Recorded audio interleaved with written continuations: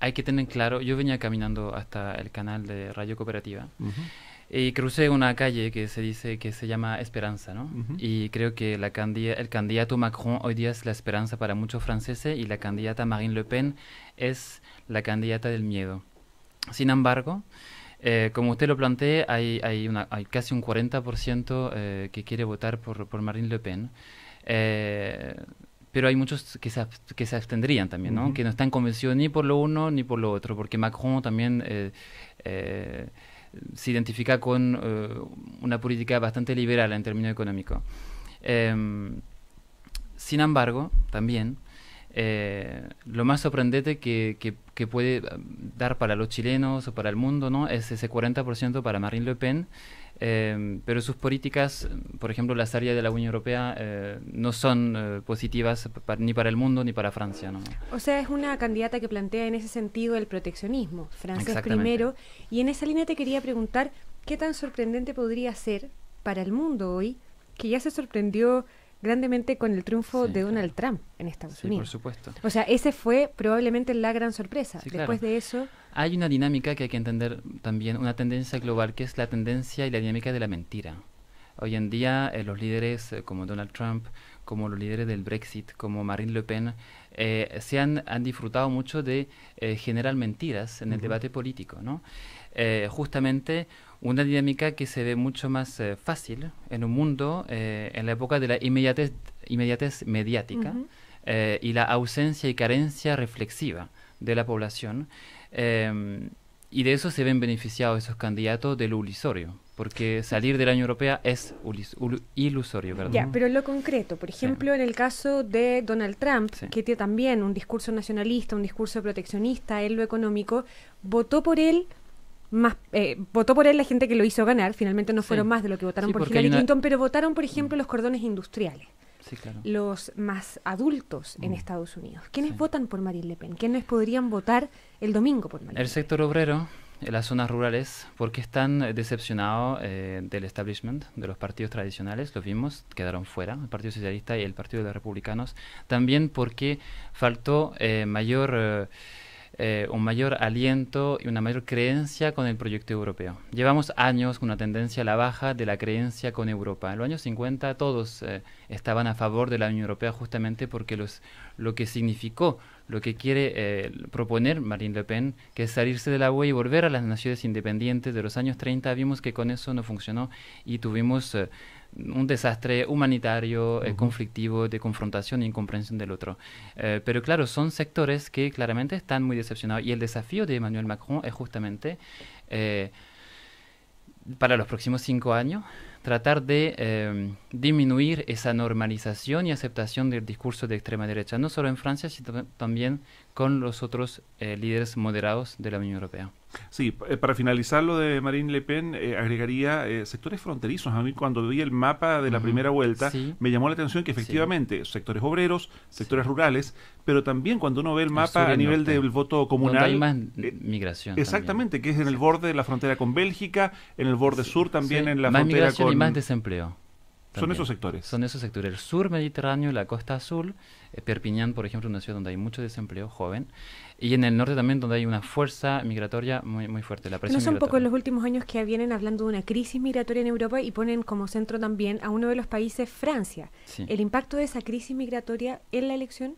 ¿Qué es la Francia de hoy? Francia hoy es 280.000 eh, migrantes anual son 60.000 solicitudes de asilo, es un 10.3 de desempleo, es 24% de desempleo para los jóvenes de menos de 26 años. Entonces, claramente hay una presión social, una presión migratoria y hoy en día una crisis eh, política, ¿no? Todo eso derivó también, bueno, lo sabemos, la primavera árabe, la crisis siria, pero también la crisis económica y financiera que estamos viviendo desde el año 2008. El próximo año se van a cumplir 10 años de crisis en Europa. Pierre, y en ese escenario, ¿Qué ofrece el otro candidato? ¿Qué ofrece Manuel Macron y cómo podría gobernar con, este escenario eh, de inmigración, con este escenario de desempleo, con este escenario que de alguna forma eh, le da un 60-63%? Bueno, por ejemplo, reactivar la economía, eh, convencer a los líderes europeos de convencer el Banco Central Europeo de, por ejemplo, en vez de dar plata a los bancos, dar plata para los estados para reactivar la economía con infraestructuras públicas, proyectos sociales, etcétera.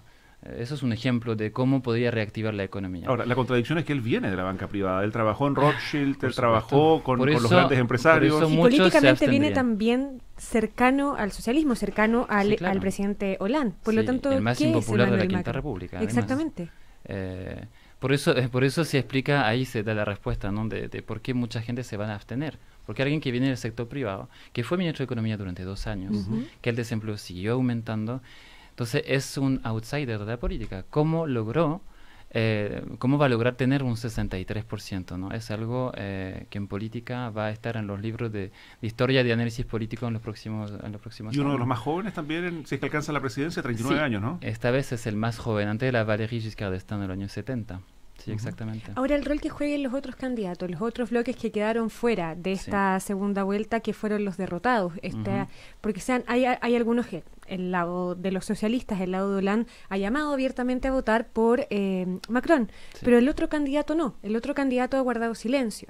Eh, ¿Cuán fundamental pueden ser esos votos? Están, eh, algunos no se pronuncian justamente porque esperan la tercera vuelta. La mm. tercera vuelta en Francia es la elección legislativa de junio, que va a ser fundamental, porque en Francia tenemos un sistema La tercera vuelta, perdón, para entenderlo con un presidente ya elegido, digamos. Ya elegido, que va a nombrar un primer ministro eh, apenas va a ser la próxima semana para liderar la campaña legislativa eh, de cara a junio. Y en junio los partidos como de Fillon, los republicanos, el Partido Socialista o el Partido de la Francia Insumisa de Mélenchon aspiran a tener un número de diputados suficiente para justamente hacer una balanza eh, con Macron y quizás llegar a dirigir un, futuro gobierno mm. con un primer ministro que emana de la mayoría parlamentaria. Según los últimos sondeos de, para elección legislativa, Macron obtendría la mayoría leve, pero una mayoría. Estamos conversando con Pierre Lebret, cientista político francés. Este domingo es la segunda vuelta en ese país, la segunda vuelta presidencial.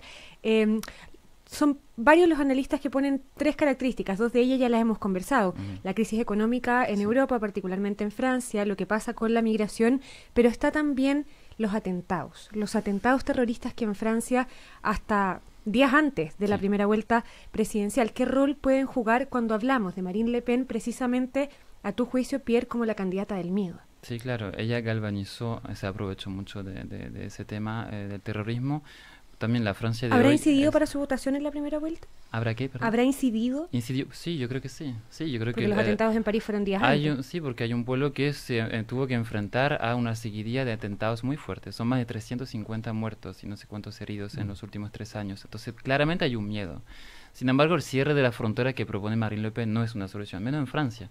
Lo que hay que hacer, como propone Macron, que parece más... Eh, europeo. En ese sentido es proteger las fronteras europeas con el mecanismo de Frontex, que es el mecanismo de control de fronteras de la Unión Europea, eh, acordar también una política quizás migratoria común con los países de la Unión Europea, eh, ir más allá, abrir Francia, abrir o sea, eh, la política francesa con la Unión Europea, negociar con la UE, pero el tema de no solo proteger, también ayudar a los países que están con crisis crisis conflictiva, de guerra, conflictos de terrorismo. conflictos de, terrorismo y también de desarrollo en África. Hay que ayudar a esos países en acuerdo con la sociedad civil de cómo hacer para que el desarrollo eh, empuje, ¿no? El desarrollo, empujar el desarrollo en esos países, ¿no? Imagínense, yo siempre me lo pregunto, ¿se imaginan un Consejo de Seguridad con Marine Le Pen?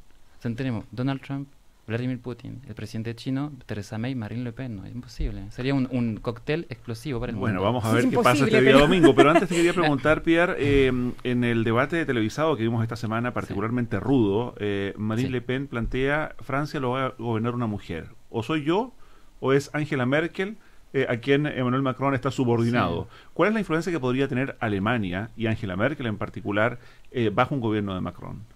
Bajo un gobierno de Macron. Yo creo que Macron tiene que apostar a una eh, a un mecanismo político, volver a, ese mecanismo político de la Francia y Alemania unida para eh, tirar a Europa hacia arriba, ¿no? Pero bueno, cuando, Marine Le Pen dice ese tipo de cuña, es típico de cuña, ¿no? Para tirar una cuña y la inmediatez mediática para que, un mensaje fuerte, ¿no? Pero no es... Eh, yo creo que muchos se rieron escuchando, escuchando eso. O sea, ella mintió sobre muchos temas sobre el euro. no la vimos preparada para ser presidenta de la República. De hecho, su propio padre dijo que no había dado la talla en el debate mm, presidencial. Así es. Ahora, si logra un 40% es igual una victoria. Y hay que preguntarse, hace poco había un filósofo francés que estaba en la Universidad Diego Portales que hablaba de la crisis cultural de la votación de la extrema derecha. Un 40% es histórico y es grave no hay que olvidar la gravedad del momento que está viviendo Francia. Claro, que es lo, que partía preguntándote, digamos, cómo se entiende que un país que se precia de ser un país educado, un país culto, termine votando eh, con esos niveles de porcentaje, según las últimas encuestas, a una, a una candidata eh, a quien han considerado xenófoba, separatista. Eh, bueno, y además, quizás uno lo podría explicar porque desdiabolizó el partido de su padre, eh, logró desdiabolizarlo en los últimos años. Siempre subió la votación en las elecciones municipal, regional y ahora en la presidencial. Su caballo de batalla antes era, bueno, era, es la migración, pero también ahora la Unión Europea, ¿no? Entonces, mm. aumentó, amplificó el abanico, ¿no? Finalmente de su estrategia política. Entonces, eso también consiguió votación eh, más allá, pero sí. Pierre, en un minuto una última pregunta. ¿La abstención puede jugar un rol importante en lo que pase el sábado? Puede ser más alta. El domingo, perdón. el sábado votamos aquí los franceses. ¿Ah, sí? ¿Vas a votar? Voy a votar de todas maneras. Eh, ¿Puede ser más determinante de lo que han dicho las encuestas hasta ahora?